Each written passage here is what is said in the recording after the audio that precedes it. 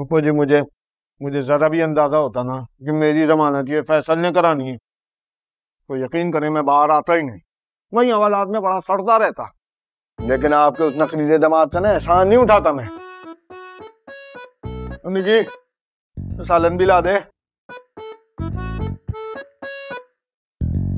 मैं ये कह रही थी कि फैसल ने नहीं करवाई है तुम्हारी जमानत। जमानत तो मैंने करवाई है। तो मजबूरी थी कि फैसल को भेजना पड़ा। मुराद को तो नहीं भेज सकती थी ना? पता तो है ही तुम्हें। हम्म। है?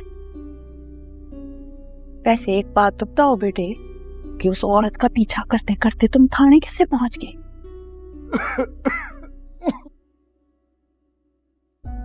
वो वो दरअसल पप्पू जी हुआ यूँ के। पीछा करते करते ना मैंने सिग्नल तोड़ दिया। बस। उसी वजह से मैं उस लड़की का घर नहीं देख सका। निकी एक कप चाय भी ला दे।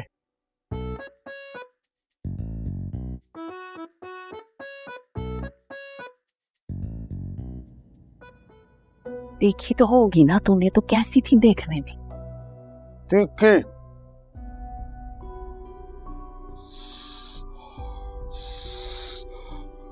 बड़ी बड़ी तीखी मिर्च डाली है पप्पू जी सालन में हाँ फजीलत ने डाली होंगी। बेड़ा गरक जाए फजीलत का अपने अंदर दी सारी कौर सालन च पा देंदी। लस्सी पी लो हम्म, अच्छा तो बताओ तो सही कैसी थी वो औरत फिर? पप्पू जी वो औरत नहीं दिखती थी। मर्दाना औरत थी। पप्पू जी, मैं कह रहा हूँ, वो खतून खतून नहीं लगती थी। जवान लड़की लगती थी पप्पू जी। लगता ही नहीं था कि वो तलाक याफ्ता और दो बच्चों की माँ है। तभी तो मुराद को उसने दीवाना बना रखा है। वैसे एक बात बताऊँ पप्पू जी, वो लड़की बड़ी तेज थी। जो तो वो आपके घर बहू बनकर आ गई ना तो। ओ तो अल्लाह ही हाफिज है फिर आप सबका।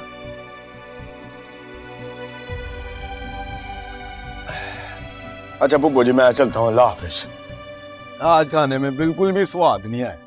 बाहर से कुछ लेके खा लूँगा। ठीक है।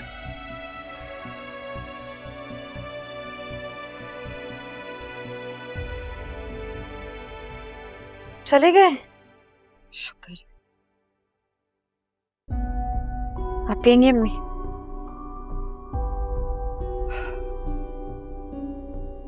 भी बचा दिया है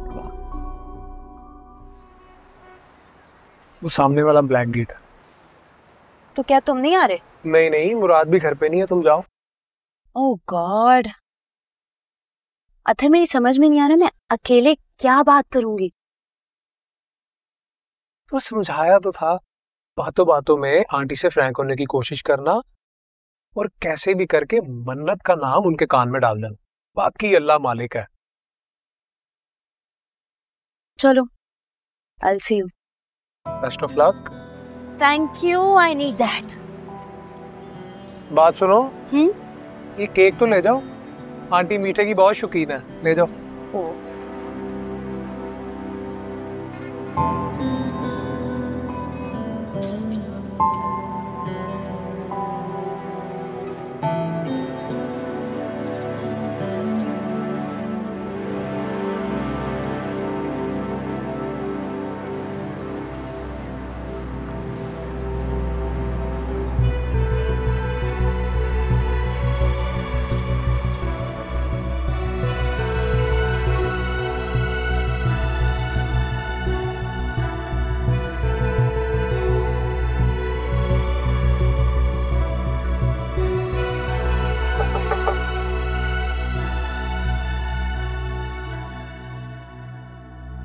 Hello?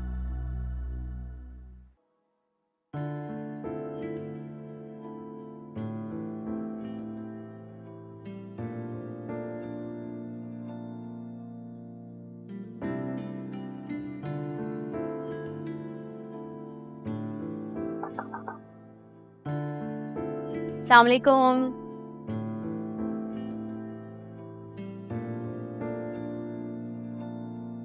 आ, ये मुराद का ही घर है।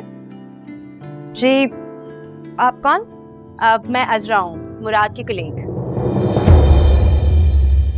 ओह तो आप हैं अजरा? जी। आ- आए बैठे ना मैं अम्मी को बुला कर लाती हूँ। बैठे। थैंक यू अम्मी! अम्मी! अजरा आई है भाई के ऑफ़िस से।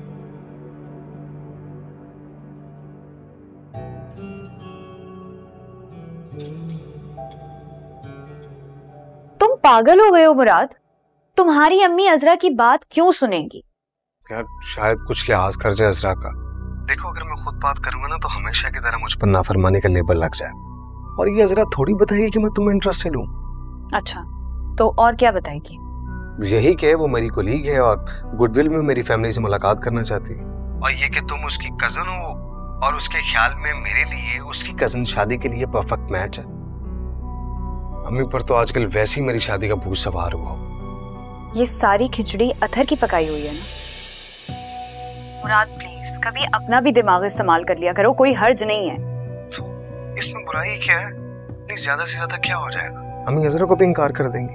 यार देखो इस वक्त मुझे सबसे ज़्यादा परेशानी ये है कि मैंने अम्मी को किसी ना किसी तरीके तुम्हारे घर भेजना है वरना तुम्हारे पास जो खपती भैया है ना। माइंड योर लैंग्वेज इस वक्त मेरे भैया का मसला नहीं है तुम्हारी अम्मी की ईगो का मसला है। लड़ाई उन्होंने शुरू की थी मेरे भैया का सिर्फ़ मुँह बना हुआ था और उनका मूड ही ऐसा है। उनका मूड ऐसा नहीं उनका मुँह ही ऐसा है। बिहेव। पहले ना तुम अपनी अम्मी को मेरे घर दोबारा रिश्ता लेने के लिए भेजो फिर मेरे भैया को ब्लेम कर। बाय बिल्कुल अम्मी पर गई है।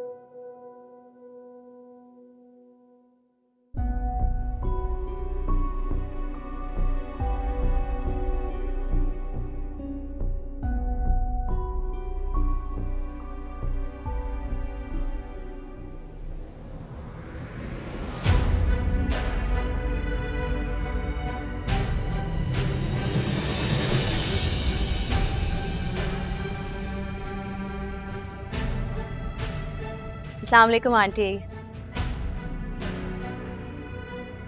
अस्सलाम वालेकुम अब मेरे ख्याल से आप लोग मुझे नहीं जानते। अ, मैं अ, मुराद की कुलीग हूँ उसके साथ ऑफ़िस में काम करती हूँ। हम बहुत अच्छे दोस्त हैं। आई डोंट नो मुराद ने मेरा ज़िक्र कभी किया है या नहीं। तो तुम हो अजरा। आप जानती हैं मुझे? कौन नहीं जानता? तुम्हारा ज़िक्र रोज होता है हमारे घर में। कौन? मुराद करता है मेरा ज़िक्र?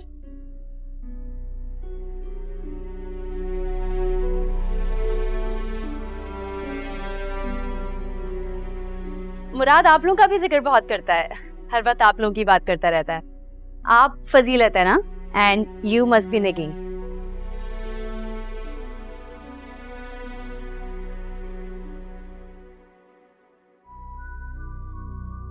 मैं आपके लिए चाय लेकर आती हूँ। थैंक यू अब आंटी ये मैं आपके लिए लेके आई हूँ। मुराद ने मेंशन किया था कि आपको चॉकलेट केक बहुत पसंद है so I got this for you काफ़ी दोस्ती है मुराद के साथ तुम्हारी। है तो। In fact Murad is a gem of a person office में सब उसे बहुत पसंद करते हैं। दोस्तों का दोस्त है वो। And I must say aunty ये सारा क्रेडिट आपको जाता है इतनी अच्छी तरबियत करने का। आप कभी आए ना हमारी तरफ़, चक्कर लगाएँ?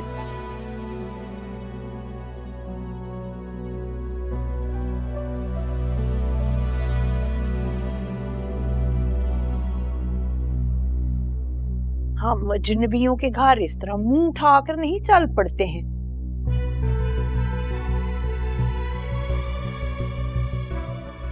हम खानदानी लोग हैं। हमारे कोई असूल हैं कोई तौर तरीके हैं हमारे।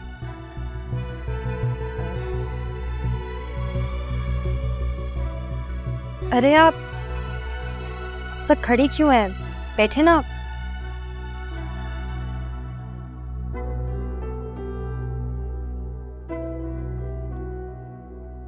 थैंक यू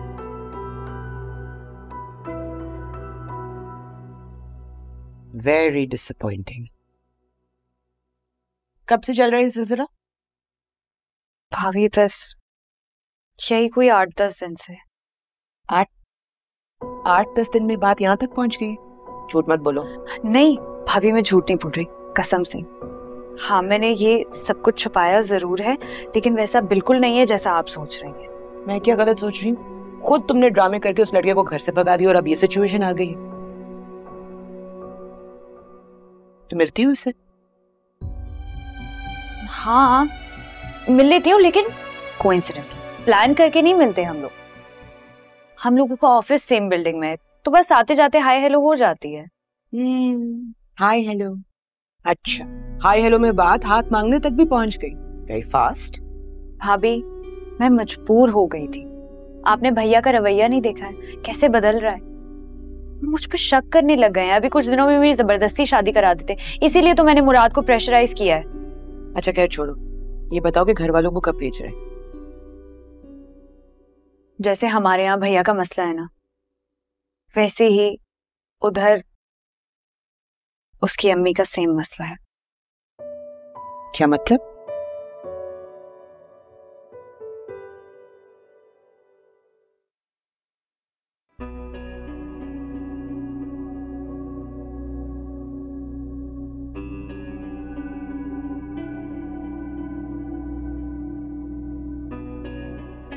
माँ बाप तुम्हारे दुबई में रहते हैं।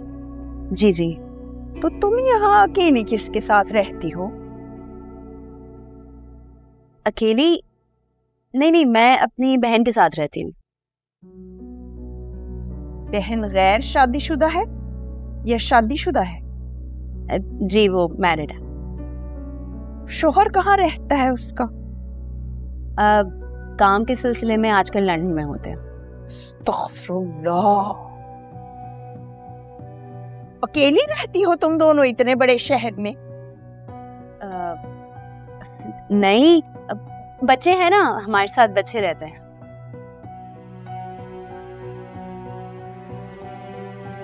बच्चे हैं हमारे साथ। ये अच्छी बात है बच्चे हैं हमारे साथ हैं? बच्चे साथ रख लो और जो मर्ज़ी करते फिरो। कोई पूछने खींचने वाला जो नहीं होगा। सॉरी इतनी छुन्नी बेबी नहीं हो तुम। समझ में आ रहा है तुम्हें कि मैं क्या कह रही हूँ? नहीं नहीं सीरियसली आंटी मैं नहीं समझी कि आप क्या कहना चाह रही हैं। आंटी नहीं कहना है मुझे तुमने। सख्त नफरत है मुझे इस लफ्ज से aunty. I am sorry aunty. अब खाला जान अब ख्याल रखूँगी। ए लड़की। बात सुनो। ना मैं तुम्हारी खाला हूँ ना फूफी हूँ ना ताई हूँ ना चाची हूँ। मुझसे ज़्यादा रिश्ते बनाने की ज़रूरत नहीं है। नियत तो मुझे कुछ ऐसी ही लगती है इसकी। वरना कोई इस तरह केक या मिठाई नहीं लेके आता। क्यों? ठीक कह रही हूँ ना मैं? बिल्कुल ठीक कह रही हैं आप ही लेकिन ये आपको कैसे पता चला कि मैं मुराद के लिए रिश्ता लेकर आई हूँ?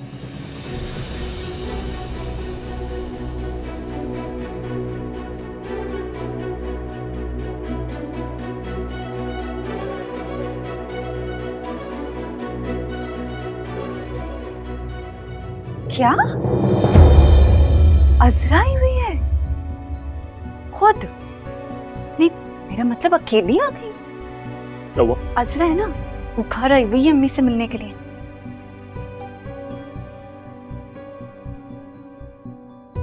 फिर? ठीक है। ओके ओके चल बाय फैसल हम्म। मुझे अम्मी की तरफ़ छोड़ दें हम्म। ऑफ़िस जाना है देर हो जाएगी। फैसल अम्मी कैसे अकेले अजरा से निपटेंगी? अरे तुम उधर जाओगी तो ज़्यादा बात बिगड़ेगी। फैसल छोड़ देना। बस।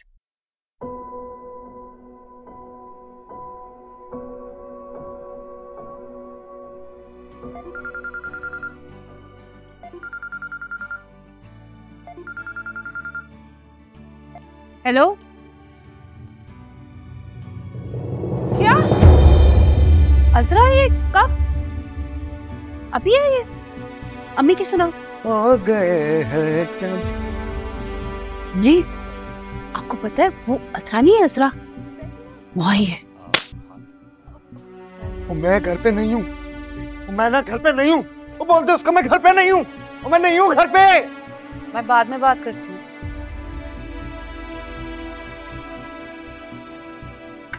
ओहो। नहीं हूँ मैं घर पे नहीं हूँ नहीं हूँ नहीं हूँ मैं घर पे। अजरा यहाँ नहीं आई निग्गी का फ़ोन आया था वहाँ आई है। नहीं है। तो फिर क्या ड्रामा डाला उसने वहाँ? रात का रिश्ता मांगा है अम्मा से। गीता दिलेरी तो चेक करें इस लड़की की। और दीदा दिलेरी नहीं बेगम बदमाशी कहो बदमाशी। अब वो लड़की ना मुराद को सरेआम घर से उठा के ले जा सकती है। और हाथ मांगना तो फिर छोटी बात है। इसका मतलब है अम्मा बिल्कुल सही करती हैं जो मुराद को अपने परों के नीचे छुपा के रखती। वरना अजरा जैसी लड़कियों का क्या है? कब का ले उड़े हमारे इकलौते कमाऊ फूट को लड़की! ये क्या तुम ऑल फॉलन ऑप्शन आप के चली जा रही हो, हैं? शरीफ घरानों की लड़कियाँ ऐसे लड़कों के घर जाके रिश्ते मांगने शुरू कर देती हैं। अव्वल तो बुज़ुर्ग आते हैं रिश्ता लेने के लिए। दो, मगर तुम्हारे घर से कोई बुज़ुर्ग यहाँ पर चले नहीं आए मेरे मुराद का रिश्ता मांगने के लिए तो मैं साफ़ साफ़ इनकार कर दूँगी। नहीं नहीं I am sorry aunty I mean खाला I I mean mean, Murad की अम्मी जान। खबरदार जो तुम्हारी जबान पर एक दफ़ा और मेरे बेटे का नाम आया जब से आई हूँ मुराद मुराद मुराद मुराद किए चली जा रही हूँ जैसे बड़ा हक हो तुम्हारा मुराद के ऊपर। माँ को हेजली हम नहीं मानते ये मर्द और औरत की दोस्ती। हम खानदानी लोग हैं असूल परस्त हैं। हमारे घर में ये बातें नहीं चलती हम जान दे देते हैं जान ले लेते हैं लेकिन अपने असूलों से नहीं हटते। मैं यही कहना चाह रही हूँ कि आप मुझे गलत समझ रही हैं। फजीलत आप ही आप समझाए ना इनको कि मैं यहाँ भाई, मुझे किस खुशी में आप ही कहे जा रही हो तुम? उम्र में तुमसे छोटी हूँ। ये अलग बात है कि तुमने खुद को फिट रखा हुआ है। और बात सुनो, ये जीन्स की पैंट और शर्ट पहन के सर पे चश्मा लगा के ये मत समझो कि तुम्हारी उम्र छुप गई।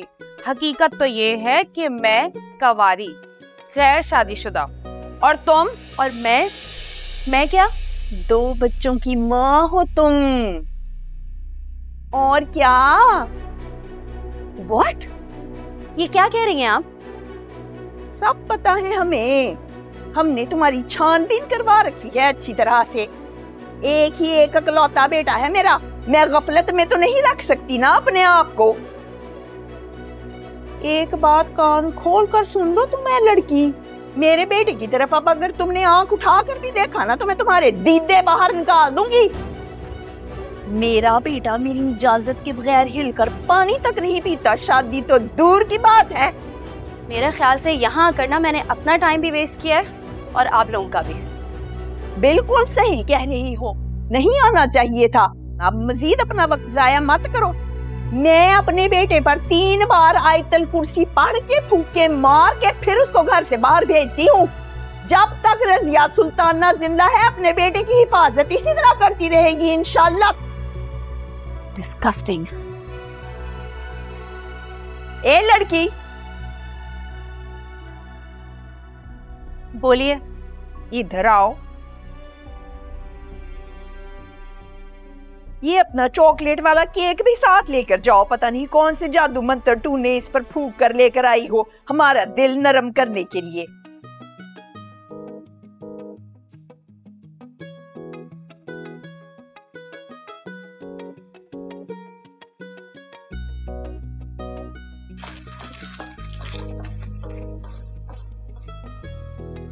खस कम जहाँ पाक। अम्मी कुछ ज़्यादा ही नहीं कह दिया आपने। मुराद नाराज़ हो जाएगा। उसकी क्या मजाल है? मैं उसकी वालदा हूँ वो मेरा वालिद नहीं है। मुझे ना सिखाया करो कि क्या करना है। अम्मी केक तो रहने देती। शी बेकरी का लग रहा था। भूखी ना हो कहीं की तो। मंगा दांगी तेन केक भी। नहीं मंगवाती।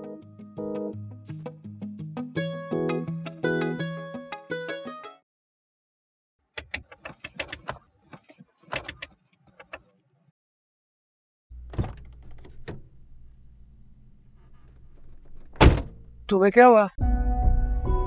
चलो यहाँ से। मैं कह रही हूँ गाड़ी चलाओ डैमेट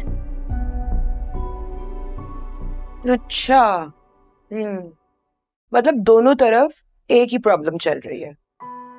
ओवर पोजेसिवनेस एक ही मसला है। यहाँ भैया तुम्हें शेयर कर नहीं सकते। वहाँ मुराद की अम्मा अपने इकलौते बेटे को शेयर करना नहीं चाहती। तुम्हारी अटेंशन डिवाइड हो रही है ना? भैया से यही बर्दाश्त नहीं हो रहा। ह्यूमन साइकोलॉजी ना बड़ी कॉम्प्लिकेटेड है। मतलब कोई नहीं चलो ना बड़ा मसला भी नहीं है। कोई ना कोई हल तो निकल ही आएगा। आर यू श्योर कोशिश की जा सकती है। लेकिन इस मसले को ना मैं बड़ी केयरफुली अप्रोच करना चाहती हूँ। मैं नहीं चाहती कि तुम्हारी और मुराद की जो रिलेशनशिप है ना वो अना का मसला बने। क्योंकि जहाँ अना आ जाती है ना वहाँ बाकी सारी चीज़ें खत्म हो जाती हैं। और मसला यहाँ इख्तलाफ का नहीं है। अना के टकराव का है। भाभी सच बताऊँ I I really like him seriously I really like him लेकिन मैं भैया से भी बहुत प्यार करती हूँ मैं उन्हें हर्ट नहीं कर सकती। वही नहीं कुछ ना कुछ कर लेते डोंट वरी सोचना पड़ेगा।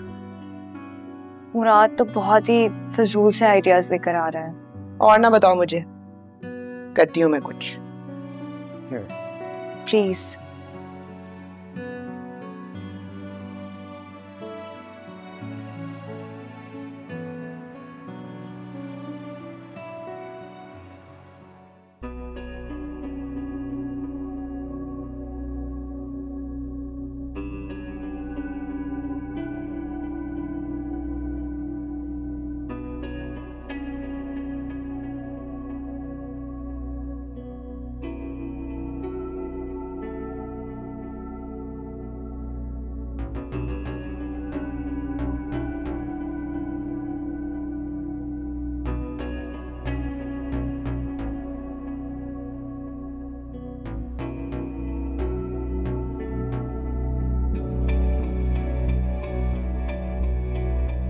अस्सलाम आप वो, वो आज बाहर बहुत रश था तो इसलिए देर हो गई।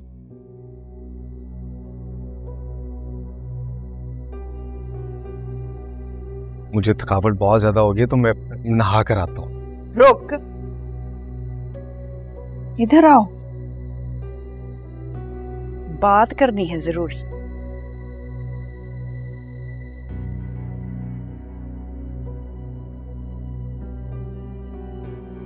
मम्मी वो दरअसल इतनी बेशर्मी और बगैरती तो मेरी सात पुश्तों में किसी ने नहीं देखी जितनी मैंने आज अपने घर में देख ली है। मैं बहुत चुप कर! उस लड़की को इस घर का रास्ता दिखाते हुए तूने ये नहीं सोचा कि तेरे घर में जवान बहने हैं? एक गैर औरत जब चुस्त लंदनाती भी आएगी और अपने मुँह से तेरा रिश्ता मांगेगी तो क्या असर पड़ेगा तेरी बहनों पर? कल को ये भी बुज़ुर्गों पर लानत भेज के निकल पड़ेगी अपने रिश्ते मांगने।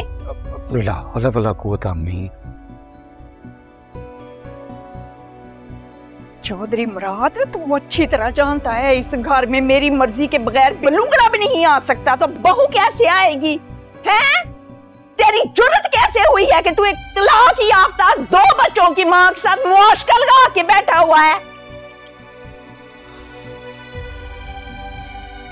खुदा जाने किस खानदान की है मुँह उठा के आ गई कि मैं रिश्ता करना चाहती हूँ। और उसे किसने कहा है कि मुझे फजीला ही कहती फिर है भाई? अरे उम्र में छोटी हूँ मैं उससे। वो तो अमीर है, जरा बंठन के रहती है तो जवान लगती है। क्या है? और वो अपने साथ केक भी लेकर आई थी। अम्मी ने वापस भेज दिया। लेकिन उसको देखे लेकर भी चली गई। ये नहीं कि छोड़ जाती हम कुछ खा लेते।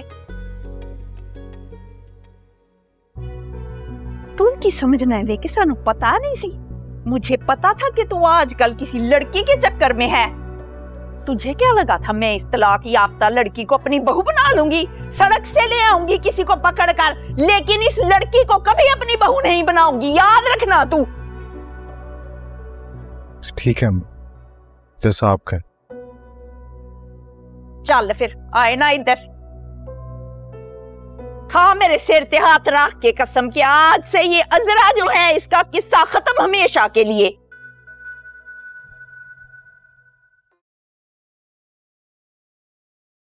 अम्मी, मैं आपके सर की कसम खाता आज के बाद अजरा मेरी बहनों जैसी है।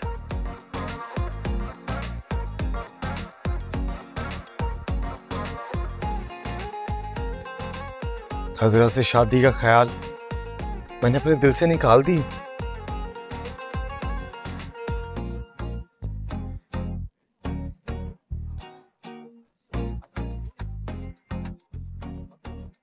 बल्कि मैं ये समझूँगा कि मेरी चार नहीं, पाँच बहनें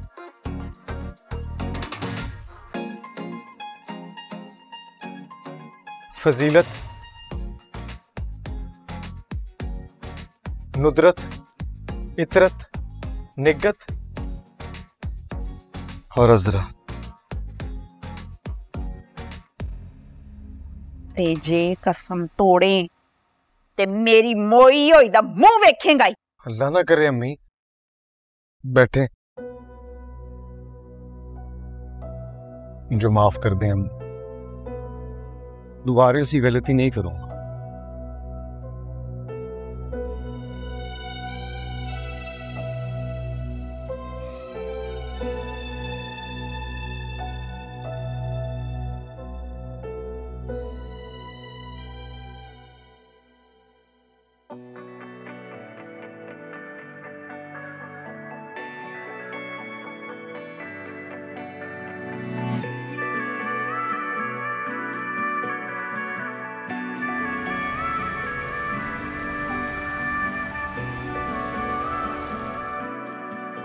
इसका मतलब है, आंटी की नज़रों में तेरी ख्याली महबूबा की मौत हो चुकी है। और अब हम तेरी असली महबूबा को हासिल करने का नया गेम प्लान बना सकते हैं। गेम प्लान हाँ तो और क्या? तू घर जाके कह दे कि तू मन्नत से शादी करना चाहता है और तेरी अम्मी मन्नत के लिए रिश्ता लेके उसके घर चली जाए। ओ भाई, तू अच्छी तरह जानता है कि गेम प्लान ना मेरे बस की बात नहीं है। सीधा साधा सा बंदा सीधी सादी सी बात करता हूँ। हाँ बस तेरे काम उल्टे हो जाते हैं। मशवरे तो तेरे होते हैं। खाओ अजरा को तेरे घर भेजने का मशवरा भी बेटा मेरा ही था। तेरे हक में कितना बेहतर हुआ ना। बस वो अजरा। कुछ अच्छा नहीं हुआ। वैसे बड़ा बुरा हुआ उसे और अल्लाह की कसम मुझे बड़ी शर्मिंदगी। पता नहीं कैसे फेस करूँगा उसे। वैसे तेरा कसूर नहीं है। उस बेचारी की ना किस्मत ही ऐसी है। कभी वो आंटी के हाथों से लील होती है, कभी वो मन्नत के हाथों से लील होती है। यार, उसको ना किसी दिन किसी अच्छी जगह से खाना खिला देते हैं। इसी में खुश हो जाएगी। जाना। पैसे तू देगा।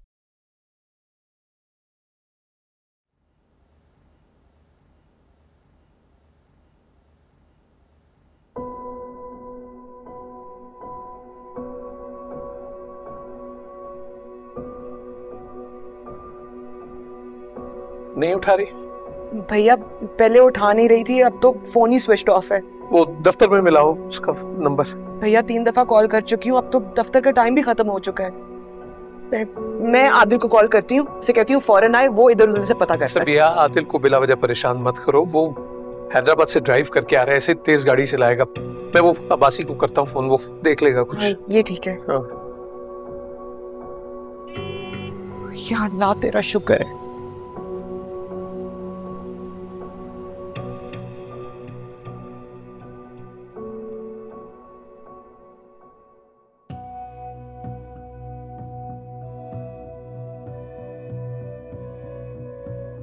फ़ोन क्यों बंद था तुम्हारा हो गया था। अस्सलाम वालेकुम भैया। वालेकुम सलाम। कहाँ थी तुम इतनी देर से? ऑफ़िस में थी और कहाँ? उसके बाद कहाँ थी? उसके बाद फिर रास्ते में थी और कहाँ जाऊँगी? भैया के पूछने का मतलब है कि इतनी देर क्यों लग गई? हम परेशान हो रहे थे ना तुम्हारे लिए। हाँ तो देर सवेर तो हो जाती है ना भाभी। मुझे रास्ते में ट्रैफ़िक मिला था। सो व्हाट सो व्हाट कल से जॉब पर नहीं जाओगी तुम। लेकिन क्यों? I am not answerable to you जो कह दिया सो कह दिया बस। नहीं आपको मुझे जवाब देना पड़ेगा भैया। क्योंकि अगर आपके पास कोई रीजन नहीं है कोई जवाब नहीं है मुझे देने के लिए तो आप मुझे ऐसे नहीं रोक सकते। मतलब तुम मन्नत मन्नत भैया परेशान है तुम अपने कमरे में जाओ हम बाद में बात करते हैं। ये बात बाद में नहीं होगी। ये बात अभी होगी। इन्हें मेरे सवाल का जवाब देना होगा। ये हमेशा ऐसे अपनी मर्ज़ी चलाते हैं मुझ पे भाभी। एक मिनट। आज तक जो भी होता है हमारी नहीं तुम्हारी मर्ज़ी से होता है। लेकिन इसका ये मतलब नहीं है कि तुम इस सुतरे बेमार की तरह आधी रात को घर वापस आओ। एक मिनट। बात सुनो। लाड प्यार अपनी जगह। लेकिन लिमिट्स क्रॉस करने की इजाज़त नहीं देंगे तुम्हें। भैया आधी रात नहीं हुई है। आप वक्त देखे साढ़े सात बज रहे हैं। मुझे अगर आते आते रास्ते में ट्रैफ़िक मिला है मेरा फ़ोन डेड हो गया आप देखें डेड है। तो फिर इसमें मेरा क्या कसूर? मन्नत चुप कर जाओ। इसमें रोने वाली क्या बात है? तुम्हारे बड़े हैं तुम्हारे लिए परेशान हो रहे थे। मैं रो इसलिए रही हूँ क्योंकि ये मेरे लिए बड़ी बात है। ये मुझ पर शक कर रहे हैं। मन्नत। अगर आपको मेरा बाहर जाना इतना बुरा लगता है ना तो भैया आप एक काम करें आप मुझे कमरे में बंद कर दें। मैं वहीं से बाहर नहीं आऊँगी। मन्नत ये क्या तरीका बड़ों से बात करने का? ऐसे बड़ों से ऐसे ही बात की जाती है भाभी। मेरा दम घुटता है इस घर में। आई फील मन्नत भैया भैया आप रिलैक्स है। मन्नत मन्नत प्लीज़ अपने कमरे में जाओ। प्लीज़ अपने कमरे में अरे वो हमारा लिहाज नहीं करी तुम्हारी क्या सुनेगी वो? भैया प्लीज़ आप मैंने तुमसे कहा था ये जॉब ठीक नहीं है इसके लिए। में बात अरे तुमने देखा किससे बात कर रही है मुझसे? मैंने देखा मैं संभाल लूँगी। प्लीज़ आप रिलैक्स आपकी तबीयत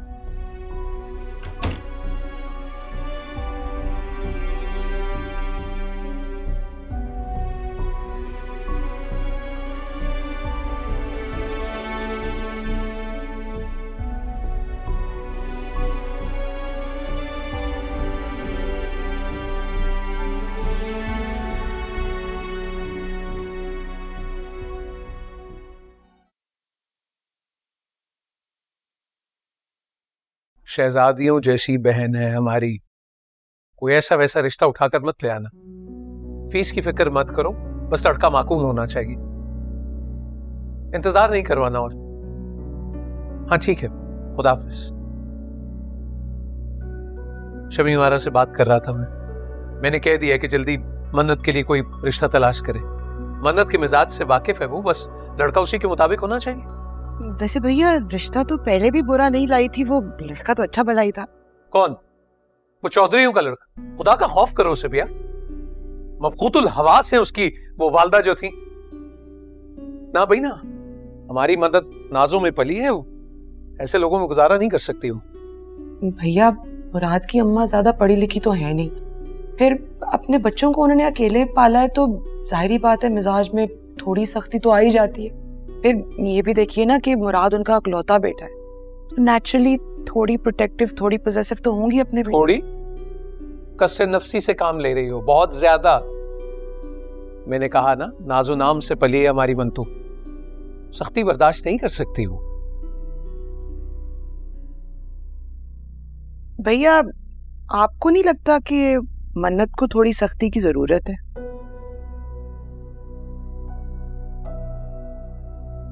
क्या क्या कहना चाह रही हो? क्या मतलब है तुम्हारा? देखिए भैया माइंड ना कीजिएगा, लेकिन आप भाइयों के लाड प्यारे ना मन्नत को बहुत ही जिद्दी बना दी। ना आप लोगों की कोई रोक टोक है, ना कोई सख्ती है। ज़ाहिर है फिर वो सवाल जवाब से चिढ़ती है। लेकिन भैया, मैं जानती हूँ कि आंटी अंकल के बाद आपने मन्नत को बाप बनकर पाला है। बहुत प्यार किया, लेकिन बेटी का माँ के साथ एक अलग ही रिश्ता होता है। एक अलग दोस्ती होती है। तो ज़ाहिर है आपके साथ तो नहीं हो सकती। इसीलिए तो मेरा ही ख्याल है कि अगर मन्नत की उस घर में शादी होती है तो उसकी ज़िंदगी में जो माँ और बहन के रिश्तों की कमी है वो भी पूरी हो जाएगी। क्यों, आदर? सबिया मुझे लगता है भैया चाहते हैं कि मन्नत की शादी किसी ऐसे लड़के से हो जो जॉइंट फैमिली का हिस्सा ना हो। अकेला हो, दब के रहे मन्नत से और ज़्यादा रोक टोक ना करे उस पर ऐसा ही है ना भैया? तो यही तो समझाने की कोशिश कर रही हूँ आप लोगों को। भैया, मुराद के घर में ऑलरेडी इतनी औरतें हैं और उसकी अम्मा का पता है ना आपको कितनी डोमिनेटिंग है। उसको तो वैसे ही बातें सुनने की आदत है। मन्नत के साथ तो वो परफेक्टली एडजस्ट कर जाएगा। अब Murad is such a nice boy तब इतनी अच्छी जोड़ी बननी थी ना मन्नत और मुराद। पता नहीं मन्नत को पसंद क्यों नहीं आया। भगा दिया बेचारे को।